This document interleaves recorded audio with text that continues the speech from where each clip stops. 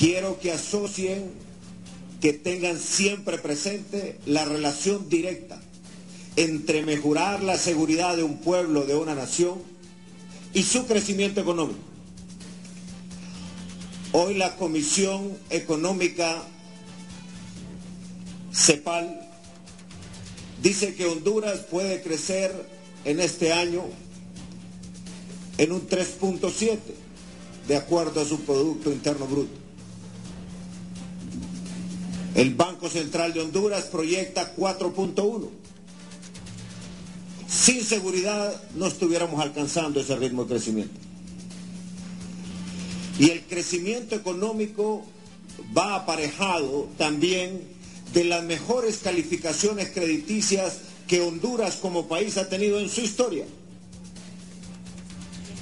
Standard Poor's hace poco emitió la calificación de este año y la del año pasado ya era la mejor de la historia y este año todavía subimos un escalón más y entramos en una categoría donde nunca habíamos estado. Eso significa mejores condiciones para el desarrollo de nuestra economía. Ahí, Fuerza Naval de Honduras está reflejado su esfuerzo, su contribución al país.